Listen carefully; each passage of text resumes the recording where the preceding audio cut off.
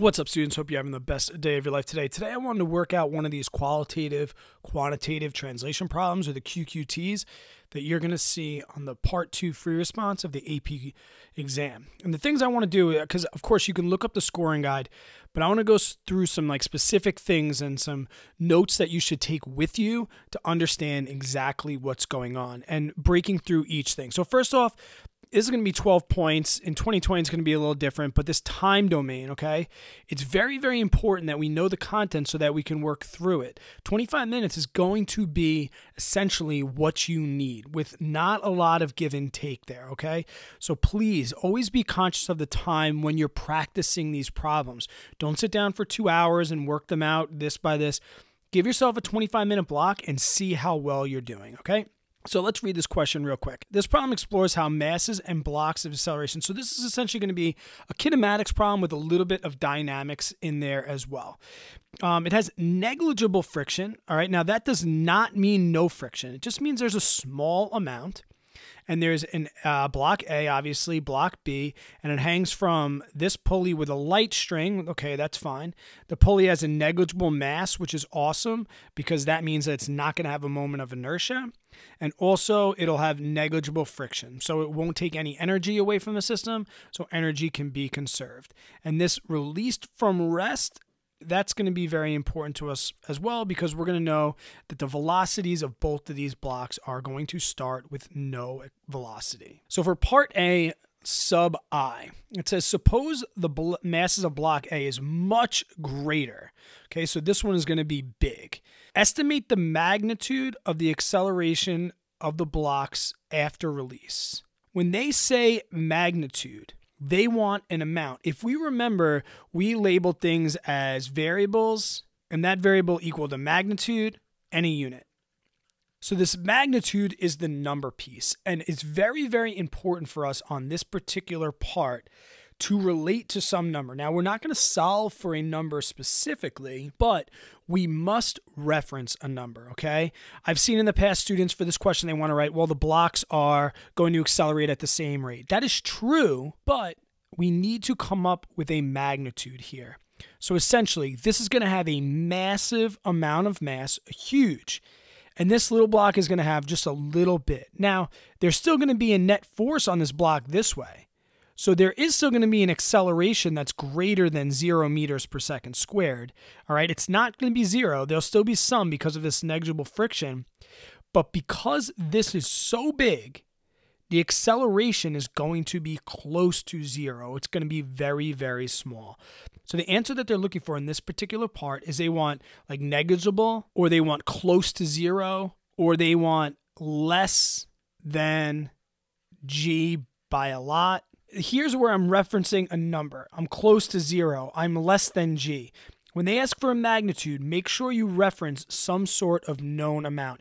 Even this negligible here, you'd have to have a pretty good description, which is the second part of this, describing why you chose that answer, to get away with negligible. The really the things they wanted was close to zero, very, very close to zero, or very far away from G, less than G, things like that. And like I said, that explanation here is going to be because block A has such a much larger mass, block B, although it's going to be able to pull it because of the net force, it's not going to be able to pull it by very much. Okay, so now here's part two of this. Now they want to change it and make it a lot less than block B. And once again, they want to know the magnitude, so you must reference some sort of number. So this is going to be huge, huge, it's huge. And this is going to be very small almost nothing. Now, if you think, if it was in fact nothing, what would this block do? It would just be in free fall. If this block wasn't here, the string would have no tension in it and this block would just fall to the ground. So that's going to make this so small, like 0.000001 kilograms, okay? When that's the case, B will fall and accelerate close to G. So there's the number that I referenced. This is a constant. Even better, put the actual value for G. Or, as we use in the AP, to get the point for this, you must say one of these three phrases and you must reference G in some way, shape, or form. Now, I've seen students say that it's going to accelerate faster than G. Students, you cannot accelerate faster than your F net can apply, right? And the only force that's acting on the system, now granted, you can accelerate if I threw it down, but I didn't throw it down, I released it. So the only force that's acting here is Fg, right? So that's as fast as I can possibly accelerate, which is the acceleration due to gravity, which are these two values. All right, so in no way, shape, or form can block B accelerate faster than G. And for your explanation here, I would just say that B wants to accelerate at G, but it can't because of block A. So the smaller the mass of A, the closer I can get to, quote, A not being there, and therefore the closer I can get to G. So my answer would be B wants to accelerate at G, 9.8 meters per second squared, but it can't because A has a mass and it slows it down.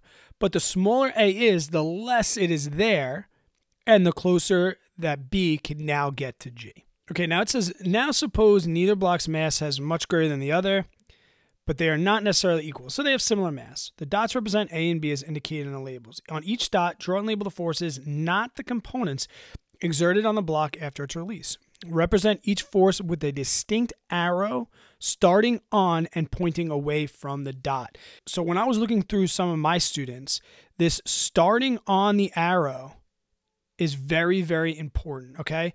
Let me give you an example what I mean. If they give you this dot and you draw your forces like this, they're not going to give you credit. These arrows must start on the dots. Okay.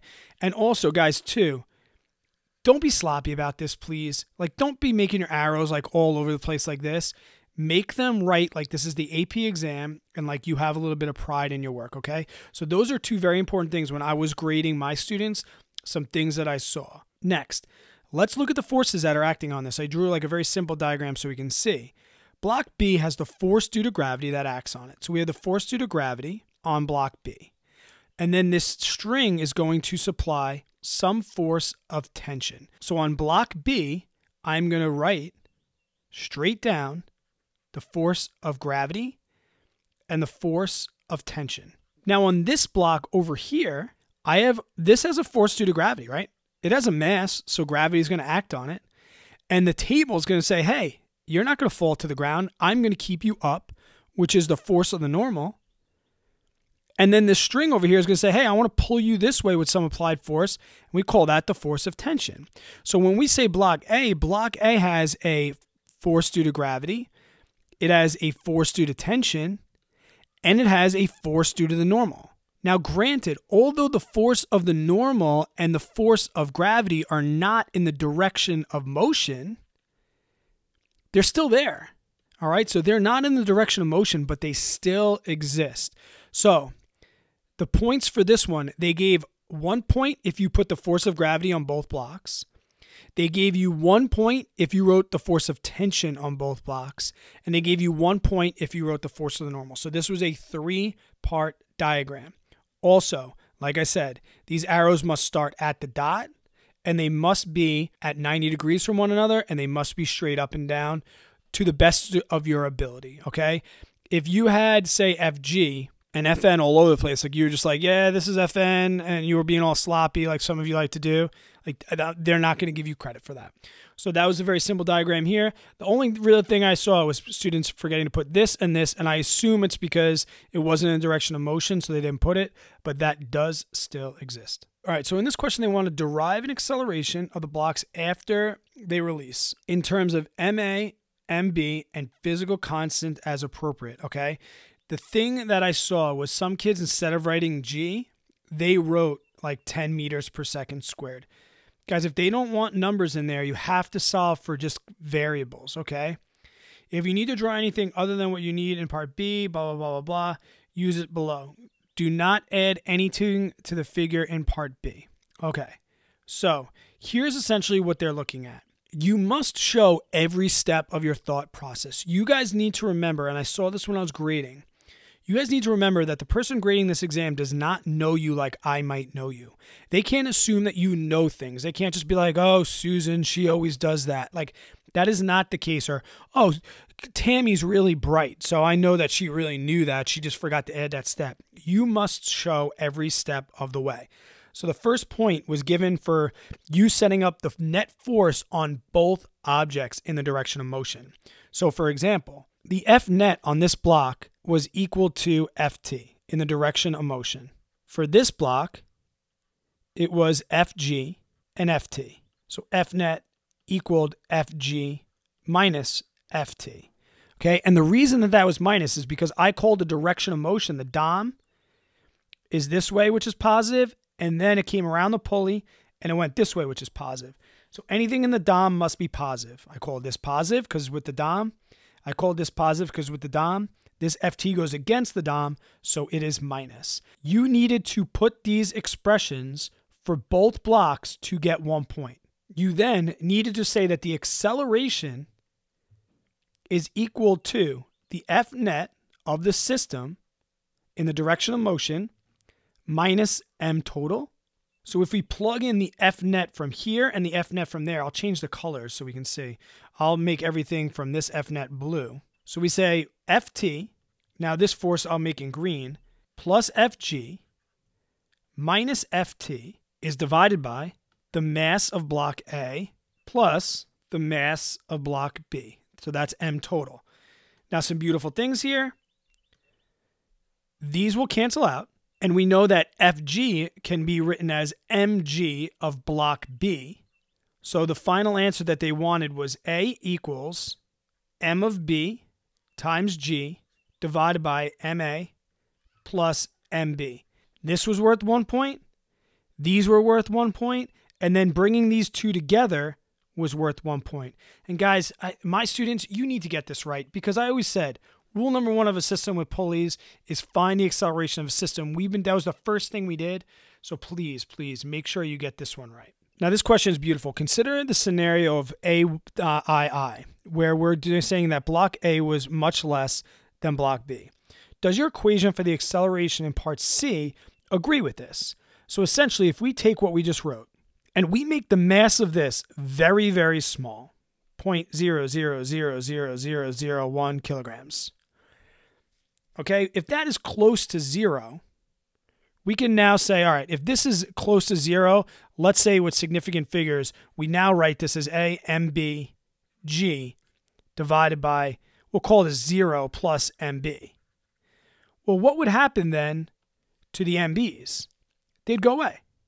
And we would see that A would be G divided by this very, very small thing, or A would be close to G. So, does this acceleration agree? It sure does. Yes. And there's your explanation right here. In this last one, what they want to do is they want to add mass to the pulley. All right, when they add mass to the pulley, they're going to call this T2. And when it had no mass, it was T1. All right, and they want us to relate T1 and T2 and which one's greater. Now, intuitively, I know that if I have the block on the table like this, I know that in scenario one, this tension just needs to pull on block A.